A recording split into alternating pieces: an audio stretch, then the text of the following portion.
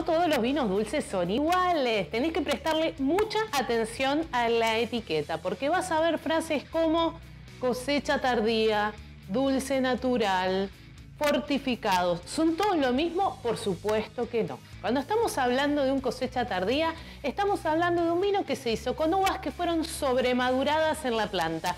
Esto significa que tenían más azúcar proporcionalmente en relación con el agua. Por eso, al momento de hacer el proceso productivo de fermentación, y cuando esta fermentación se corta, una parte de ese azúcar se transforma en alcohol y la otra parte queda en el vino.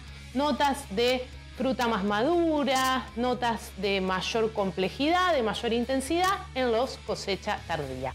Ahora si nos vamos a un dulce natural, que también lo vas a ver como este que tengo acá, Estamos hablando de uvas que se maduraron en su punto justo y en el momento de la fermentación, cuando se corta, una parte también se transforma en alcohol y otra parte de ese azúcar de la uva queda en el vino. Pero en este caso esos vinos van a tener menos graduación alcohólica y notas más frescas de frutas frescas, de flores, de vegetales, porque las uvas no estaban sobremaduradas. Y si hablamos de fortificados, estamos hablando de vinos dulces que tienen agregado de alcohol vínico o refuerzo del mosto. Pero eso lo dejo para otro video. Hoy te quería contar que esos dulces que ves en la góndola del súper pueden ser dulce natural o cosecha tardía y que cada dulce es un vino diferente.